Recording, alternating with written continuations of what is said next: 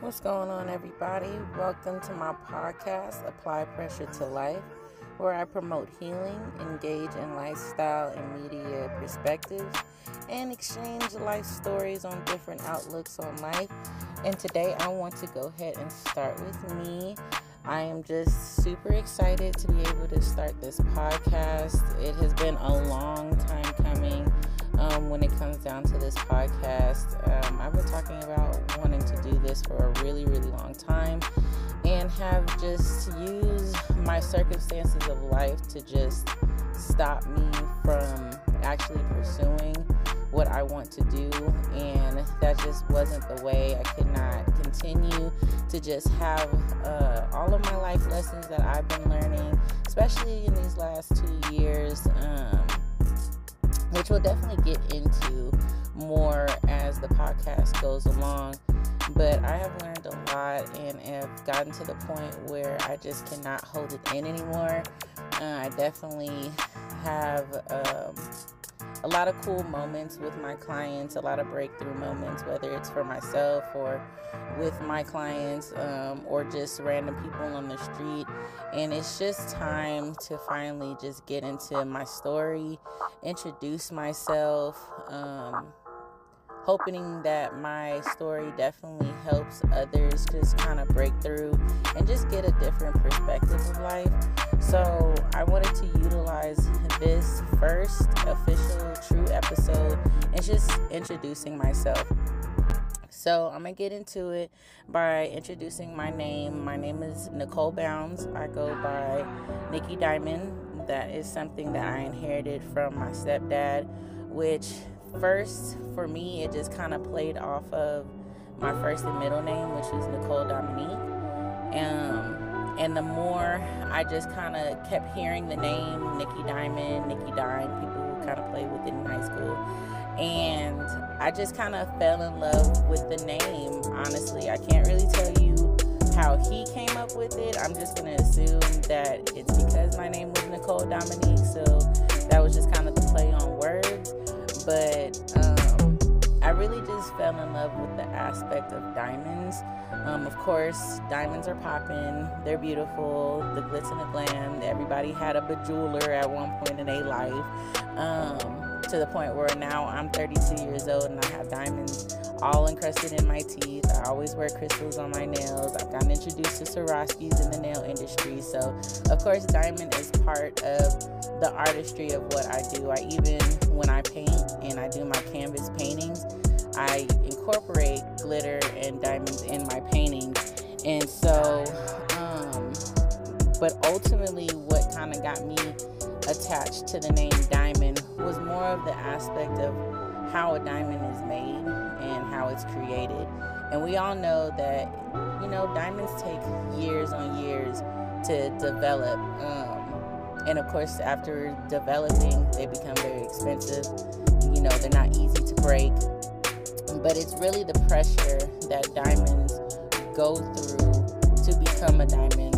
And that gives you the whole idea of, you know, diamond in the rough, coals, things like that. And the longer, you know, I just kind of dwelled on what diamonds were and how they were developed, it just felt like something that we can all relate to. I think we all go through a lot of pressure in life um, that for most of us make us. For some, it does break us. Um, but I really was attached to the name because I wanted to be a representation of what life looks like with pressure and to show that I can be cut with all the issues uh, and trauma or chaos that may, you know, enter in life. But I'm a press right back. And that is to create me to be the diamond that I want to be. It's to help me shine. And I know it's the same for everybody else. So I just fell in love with the name. But ironically, Nikki Diamond was supposed to be something that I did for fashion. Yeah, I was like into nails and doing hair and stuff like that, but I really thought I was a fashion designer. Honestly, like even if I was like drawing and some people wanted me to do like tattoo concepts for them and stuff like that. um, I would actually sketch a lot of clothing designs and I named it Nikki Diamond Decor. That was supposed to be the idea of what Nikki Diamond Decor was was plus size fashion and I even got the honor to create um, or at least design my prom dress which was lit because I'm I'm gonna be real with you guys. Going to David Bridal for as a big girl for prom is not it. they didn't have Fashion Nova. I'ma just be a Holloway honey with you. Uh, I was not gonna wear something from Torrid.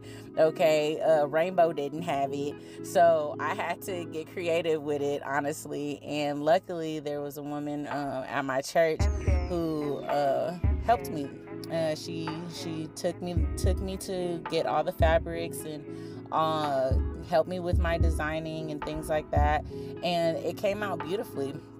I'm definitely gonna have to pull up some pictures so you guys can tap in and see those on uh, YouTube so you guys can see how it came out. Because for somebody who's never created before, I was actually impressed. But I'm gonna tell you that whole experience was like nah, this is not for me at all. Like, I'm not about to do this. This is not my steez. Like, I can't imagine like trying to pick out fabric all day long. Like, that's just not it. So I just got to the point where uh, one of my homegirls in high school, um, which she was like my sister, uh, anybody who knew us in high school just knew that we were just inseparable from pretty much 10th grade up to our 12th grade year and a little bit even afterwards. Um, to this day, I still love this girl. We're not cool, you know, like that. You know, that's how the cookie crumbles sometimes. But she definitely introduced me to a new lifestyle. When I say lifestyle, I mean getting into the beauty industry. Once again, I've always wanted to do nails. Um, always liked doing hair, but I never saw black people doing nails at all. Didn't really see black people doing anything but hair. Um, so cosmetology was not on my first list um, when it came down to career, but you know, like I said, I already went through the whole fashion thing for two seconds. Yes, it was two seconds, but my homegirl was like, "Well, we should just go to cosmetology school together. You're already doing nails and practicing nails. Like, maybe you should do it." And at that time, I didn't see why not. Like, I was getting nail stuff for Christmas and my birthday, and you know, wanting to do everybody else's nails, make sure my nails was matching, you know, whatever, you know, football theme we had going on or Spirit Week. So I was like, you know what, F it. Like, I'm gonna go ahead and just go to Cosmo School with her. That should be another, you know, nice little bonding time. Unfortunately, we didn't go to cosmetology school together. She ended up having um, a baby, my my little baby, my first my first little baby. She was my goddaughter, and um, but I kept pressing, and I was like, you know what? I'm gonna just go ahead go ahead and go to beauty school, and that's just kind of how it started for me. Um, I'm from Mid City, Los Angeles, born and raised. Uh, was born in Culver City, Los Angeles.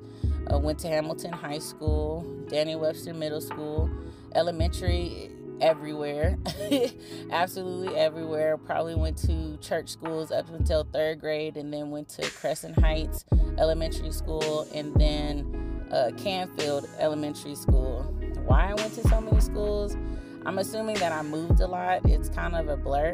Um, but I know my mom wanted to make sure that I was comfortable and she kept me pretty sheltered.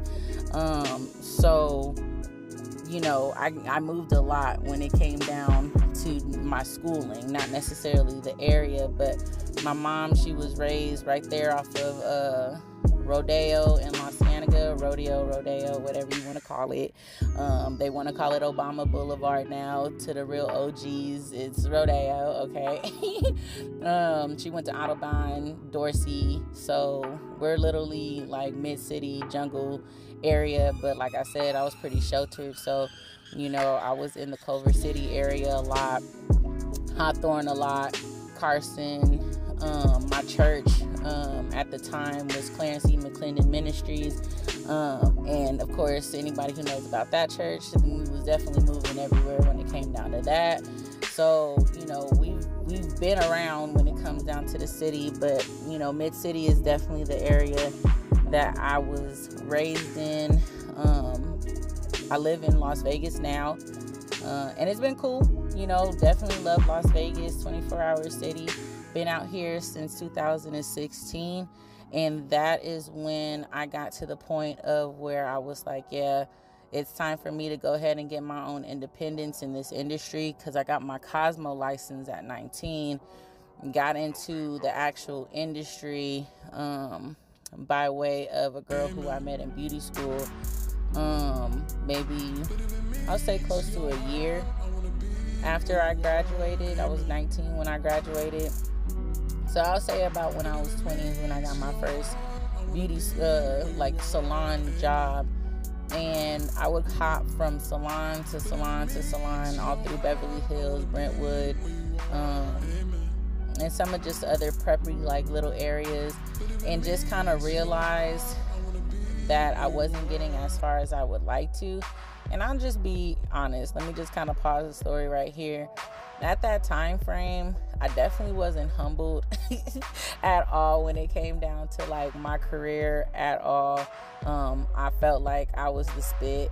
Um, after a certain amount of people that was gassing up my head and all of that, like I just was like, okay, I'm not feeling this. I wasn't feeling, you know, certain people who were getting their license like after me, but was able to, you know, go ahead and go on certain trips and, you know, representing the company and all of that. On the one end, I'm not gonna lie to you, it I honestly feel like it had to do with my culture and my ultimate look um, on why I probably didn't elevate it the way that I wanted to in the nail industry at that time frame. Um, but at the same time, I didn't stay patient enough. So my emotions at that time frame probably did block a lot of my blessings. But I honestly just felt like, you know, I'm, I wasn't going to get any further. And I got pregnant at 25. So there was a salon that I was working with at that time uh, called the House of Polish. Still love them till this day, but that was one of the salons that I just felt like I wasn't gonna get any further if I wasn't a certain look, you know, or if I wasn't just gonna follow what everybody else was kind of doing or kissing ass or wanted to kind of be the groupie type. And, you know, I just got to the point where I was like, you know what, I wanna move, I wanna be able to get into my own space uh, with my dude and you know raise my daughter the way that I want to because my household was filled with two older women, my mom and my grandmother. And my grandmother, I just assumed that she just thought because I was an only child that I didn't really know what I was doing um, when it came down to being a mom. Um, so it was very difficult as a new mom to figure out how to develop ultimately as a mom and then be in your industry and trying to figure out how to develop an industry. So I look, look, look, look, look throughout Los Angeles, and people know LA is expensive. It is expensive, oh, like unnecessarily expensive. On one hand, you got the beachy areas, I get it. You're paying for the scenery and the vibe. But there's other areas like the jungle and the hood. And for those who don't know what a jungle is, I mean, it ain't a jungle no more because they definitely cleared that out. But that was an area in Crenshaw District. And that back in the day used to be what a one bedroom could have easily be like 600 800 maybe even 900 now 1500 1600 damn near a thousand for a one bedroom. You still gonna have to pay $50 to $100 for a parking spot. Don't dare to have a pet you know what I mean? And if you talking about your laundry, nine times out of ten, it's not gonna be in your household. You know, so I just got to the point where I was like, you know what? I'm not getting as far as I want to in my industry and in my career. Um, I'm not getting the space that I feel like I need to develop as a person and a mom. And at this time frame, me and my dude moved back in my mother and my grandmother's house. So it was just like, you know what? Let's branch out and we one day just decided we was gonna come out to Vegas just for you know vacation. My dude didn't, uh, uh, you know, he hasn't been in Vegas as an adult, so we was just like, all right, let's just go ahead and spend some time in Vegas, and that was really a wrap. His birthday was in March when we came and visited, and uh, I want to say June of that same year on the 2016 we moved. And that was just all she were. We've been out here for about six years. Um, started off at a couple nail salons and eventually just became an independent nail technician. Um, you know, outside of just being a nail technician, being in Vegas allowed me to go ahead and develop as an like a personal artist. I got back into my canvas paintings, um, which is something that I'll continue to do and very soon I, I want to be able to invest in getting into these Vegas streets because they have like these light boxes that they have on the street that I, I definitely want to have an art piece with. I just don't know how acrylic paint handles with concrete or like walls and things like that because that's usually how I do my artwork. But um, yeah, no, I I really love Vegas and what it has to offer there's definitely been a lot of life lessons um, being here in Vegas, but ultimately, one big thing that I have embraced and loved about being in Vegas is um, my independence uh, as a as as an artist and as a nail technician. Meeting my clients and having our one-on-one conversations have opened up a new avenue. Um, of career for me, and that's one reason why I have adapted into wanting to getting into podcasting because a lot of our conversations that I end up getting with with my clients um, become more of a healing session, and for a lot of people who know hairstylists and nail technicians, barbers.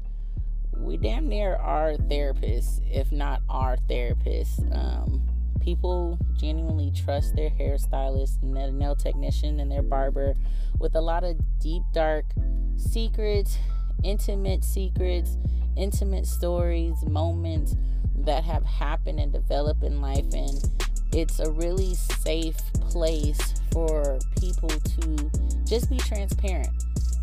And I appreciate my clients allowing them to be transparent with me, trust me with their with their hearts, um, being vulnerable, which in retrospect has helped me develop as a person. It's helped me learn better ways of communication. Um, which I, I shout out to all of my clients ultimately, especially the ones that are listening who known that I've been wanting to do this podcast for a really long time and that will be part of the podcast. But definitely, you know, with those who want to you know, share their stories and we'll get into certain conversations um, just to kind of make things abroad. But overall, you know, I, I've gotten the opportunity to practice my throat chakra, and that's to allow me to start speaking more. And that for me has been a blessing, um, ultimately, because in my family, it's not that your opinion isn't welcomed, but if it doesn't fall in line with how everybody else may think, or you know, say you have an opposite opinion or thought, it would be considered, um, you know, ruffling the feathers. Um, my mom, unfortunately, would tell me at times that, you know, certain things that I would talk about actually would create more chaos. Um, and I yearn for understanding. I yearn um, to understand how people tick. I've always been interested in how people operate, how people think, um, why they do what they do, why they say what they say, um, why they deflect. Um, and it's the people who are transparent i those people I, am like you're transparent. I appreciate it. I i personally you know desire that. I'm a taurus woman. I'm bold and straightforward. So you know i prefer anybody who has any type of emotions thought to go ahead and be transparent um, with me.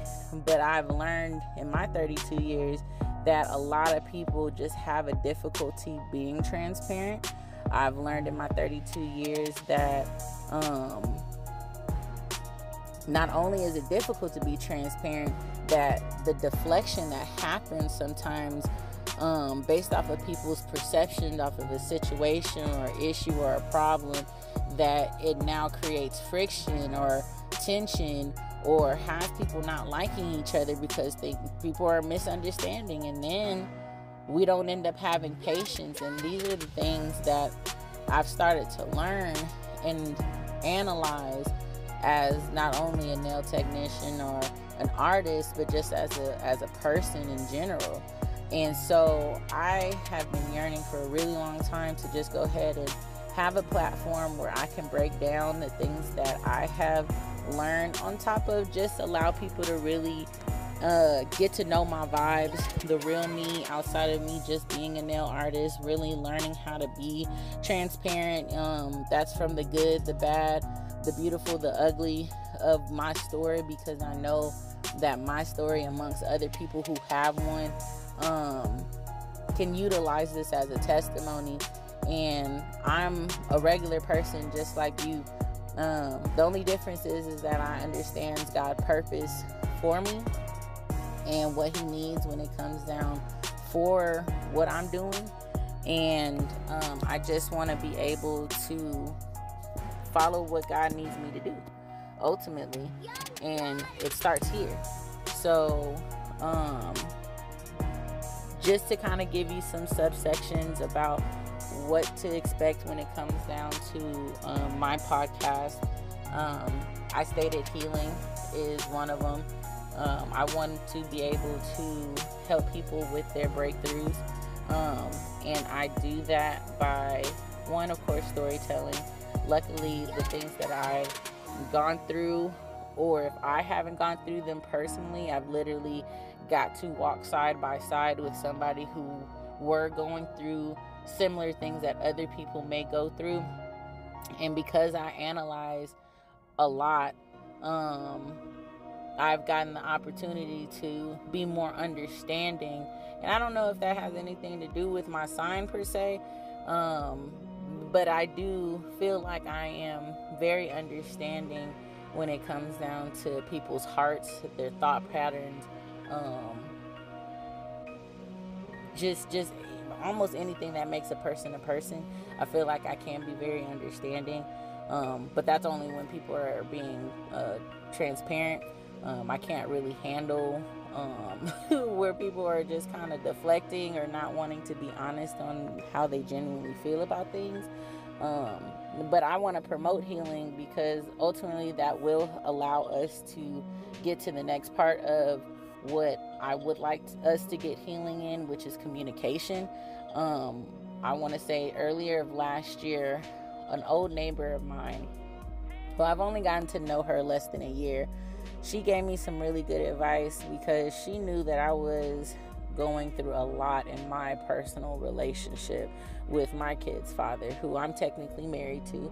Um, we're always up and down. He is my life partner, someone who I'll probably be with until one of us is gone.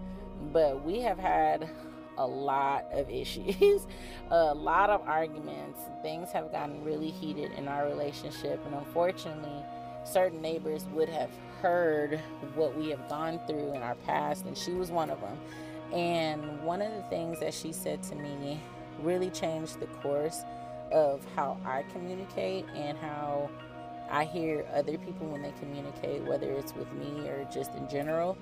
Um, she said that there is always a way to say what you need to be said, and it's okay for you to be transparent enough to say exactly how you feel. But how you say it is everything. Now, we have all known it's not necessarily what you say, but how you say it. And I've I've heard those statements before, but the way that she really broke it down to me was it just clicked. It really did. And she used an example of her getting her hair dyed. She would do like a very ashy blonde type of look. And she went somewhere where she knew that the lady was not doing the application properly. She's a cosmetologist. She's been doing this look for many, many years. Um, so she already knew that the look was going to give her an ash look. She wanted a bleach blonde look. And the woman who's doing her hair is trying to convince her that she got it. She knows what she's doing. And of course, naturally, if you feel like you know whether you're a client or not, just an experienced person, and you see something's going wrong, especially when it's on you or it's something that's yours and you got to pay for it, you would naturally get upset, right? And that's what she said. She was upset because by the end of the, the service, it was an ash. It wasn't even a bleach blonde like she want. Now, for some of you who may be hearing this, be like, okay, what does hair have to do with communication? Well, I'll tell you. Ultimately, she could have got upset. She could have cussed the lady out. She could have, you know, gotten irate. Some people who really like, you know, like I gotta walk my, I gotta walk outside like this type. Instead of having a whole attitude where that wasn't gonna fix the issue, she calmly told her, like, look, I'm not happy.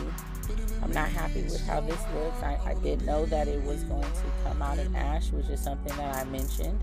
Um, but I felt confident, and you felt confident that you knew what you were doing, and unfortunately, it just did not come out the way that we both wanted and ex- expected. So we can either try to fix it, or I will need to have my money back because this isn't the way that we agreed.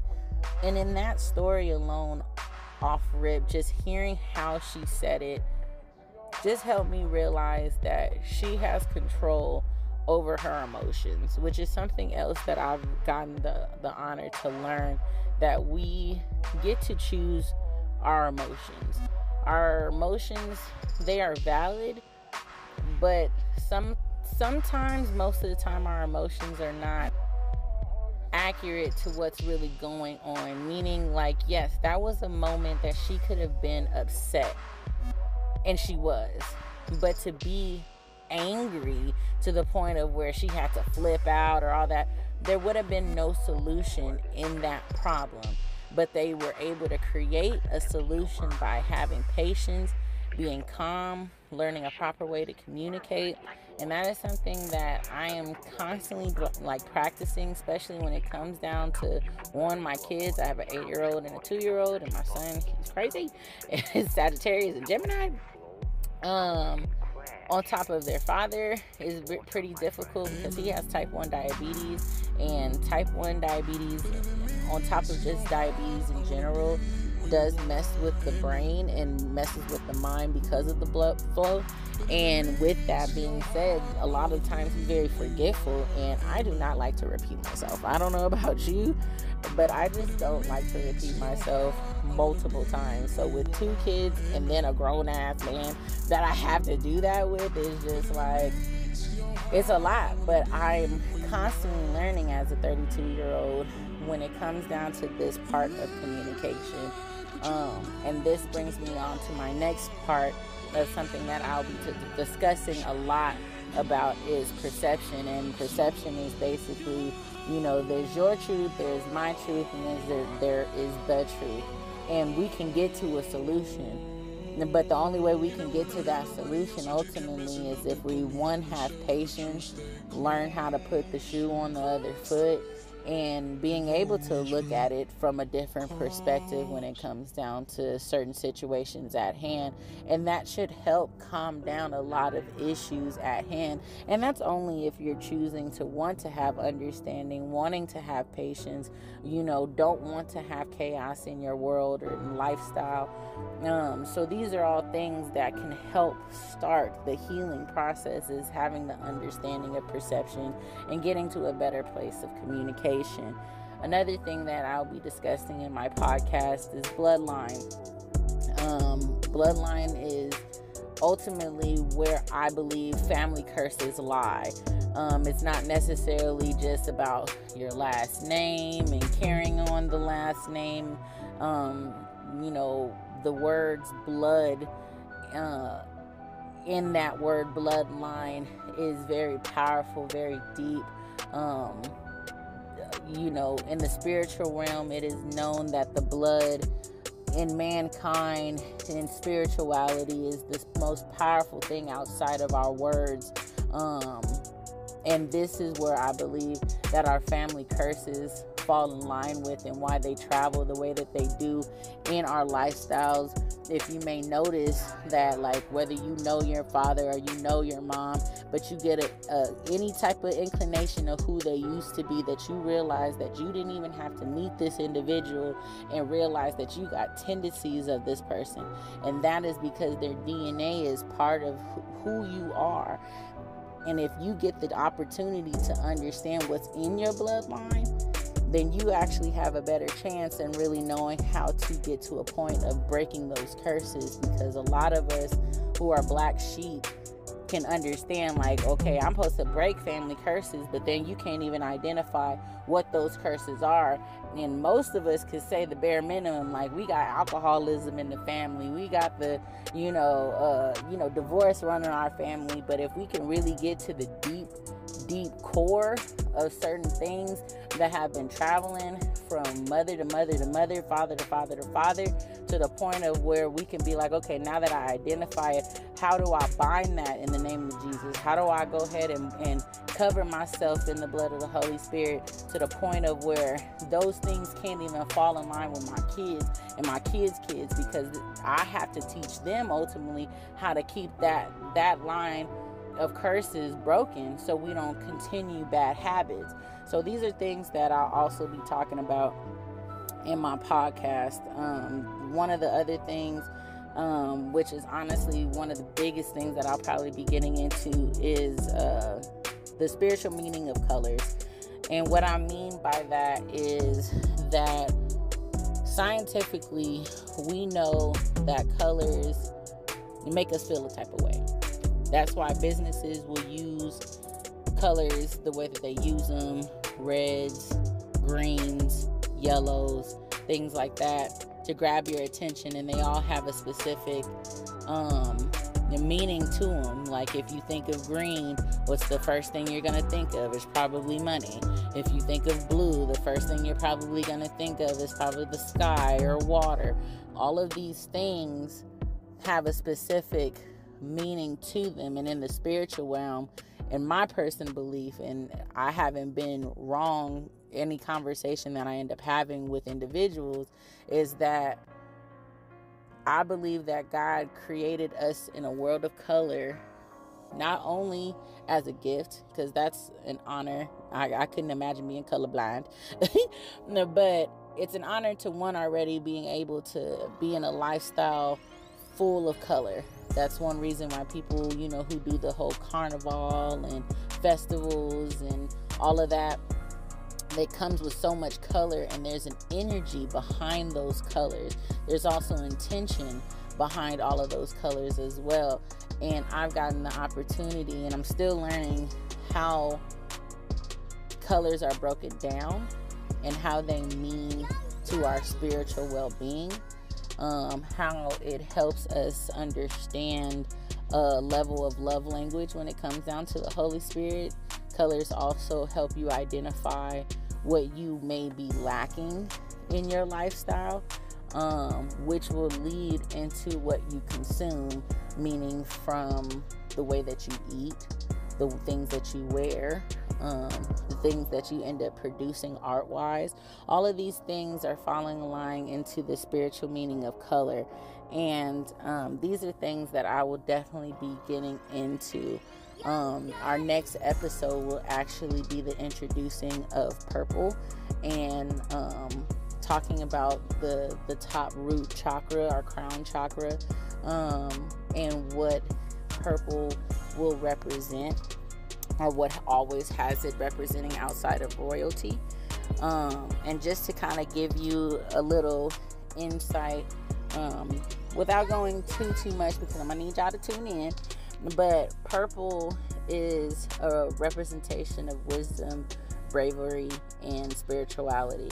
So if this is a color that you have been gravitating gravitating to, um, this is a time frame where you're getting a lot of thought processes uh, not just something that you feel but you're you're actually starting to make choices which creates you to be brave because a lot of choices that we ha- we have to make are not easy whatsoever. There a lot of them are uncomfortable to to make and but when you have wisdom which is a gift from God Um, this would allow you to make your your decisions um, accordingly.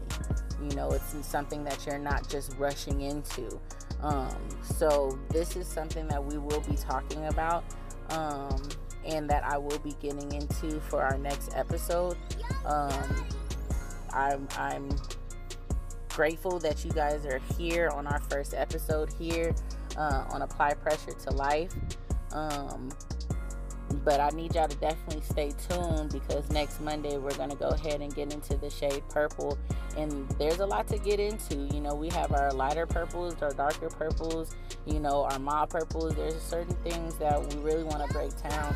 And if this is a color that you've been gravitating, you're going to want to hear this. So I'm going to definitely need y'all to stay tuned so y'all can not miss any of this at all. So, with that being said, I hope that you guys enjoyed getting to know a little bit of me. Right now, I'm in the chakra energy of orange. I am just joyful. I'm optimistic. I, of course, my my roller coaster doesn't stop, but this is a, an a area and space where I am just excited to be able to be creative and just to be expressive and I hope that you guys really enjoy this vibe that I'm giving you guys because it's it's brand new. It's a way that I've never done it before. One-on-one conversations and being in the moment is my thing. So to actually have to like record and do to a point of where I'm really pushing this is definitely new. So I definitely appreciate all of my listeners, all my subscribers and followers um, for staying tuned, for all of my clients for being patient with my with my process. I appreciate you guys. And this is honestly for you guys. So i want you guys if you haven't already please subscribe. Right now i'm on tiktok. We're on uh we're on uh, spotify right now. We're also on uh, youtube. And i'm gonna need y'all to really stay tuned honestly because outside of instagram y'all gonna get the the vibes of what like nail salon talks is like and the you know the laughters and conversations that we get into and certain media conversations that we get into. And it, it's really a vibe. It really really is. Like a lot of people outside of getting their nails done you know they love getting their nails done don't get me wrong and make them feel a type of way but it really do be the vibes and i just want y'all to stay tuned because i'm gonna give y'all a whole new insight in, in in salon conversations. Like we already know what the vibes are like with the nail, the hair salons, and the barber shops. We got that. We got that locked down. But they not giving no shine to the nail techs, and they really not giving no shine to the nail salons at all. So I'ma just you know put that out there that y'all gonna get a little bit of something new. Forgive you know my my my vietnamese co-workers that will be in the back because you guys will hear them and my vietnamese people. I love y'all but y'all loud as hell just as we is loud. So you know ain't no judgment but i'm just letting y'all know you know they will be in the background but that will give the authenticity of where where we're at and the vibes that we're at. So i'm gonna need y'all to stay tuned. I appreciate y'all I love y'all, not only, you know, with God's love, but I just love y'all because I just got that much love to give. So I'm to need y'all to pass on that love to the next person. All right. So I'm to need y'all to keep on smiling, keep it locked, and keep applying pressure to life. This is Nikki Diamond. I'm out.